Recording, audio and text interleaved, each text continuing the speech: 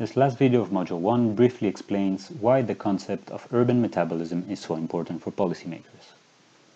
To do so, we'll first explain what traditional urban environmental policies are doing and how urban metabolism can help overcome some of their shortcomings. Traditional urban environmental policies are often fractured. Each policy focuses on a different issue such as mobility or energy efficiency. The proposed policies offer therefore individual solutions without considering the relationship between these challenges. However, if you remember when we were talking about the global challenges, there is a very complex relationship bet between all of them. Surpassing one of the planetary boundaries can trigger chain and non-linear reactions leading to cross other boundaries as well. This could lead to abrupt and irreversible changes that could be catastrophic for human well-being.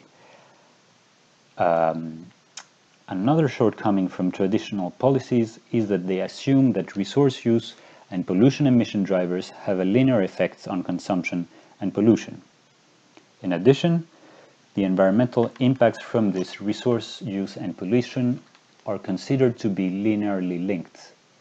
However, this assumption greatly underestimates how feedback loops and rebound effects can affect our consumption and environmental impact. The next limitation of traditional policies is their end-of-pipe approach. In other words, traditional policies offered downstream solutions that aim to minimize harmful effects through efficiency instead of questioning the root of the problem itself. For instance, end-of-pipe solutions could be the introduction of catalytic, catalytic converters in cars. While they reduce the pollution coming from cars, they don't solve the whole mobility issue. The end-of-pipe approach is also suffering from what we call the late recognition syndrome, meaning that environmental issues are noticed when it's already too late or when they already are too severe. The last limitation of traditional policies is that they only focus on local issues such as local pollution or local waste generation. Nevertheless, cities affect a much wider area called its hinterland. As we will see in the next module, most cities depend on a number of countries to satisfy their needs. This means that in order to reduce their um, environmental footprint, a city needs to propose policies that take into account their entire um, their, their entire hinterland. Now that we have presented some shortcomings from traditional policies, let's have a look how urban metabolism could help overcome them.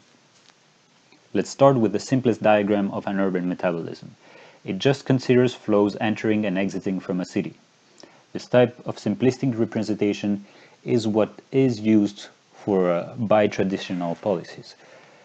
By subdividing the flows entering and exiting in cities and out of cities, it is possible to see a number of challenges simultaneously. Another element that urban metabolism studies can offer to policymakers is taking into account its complex functioning.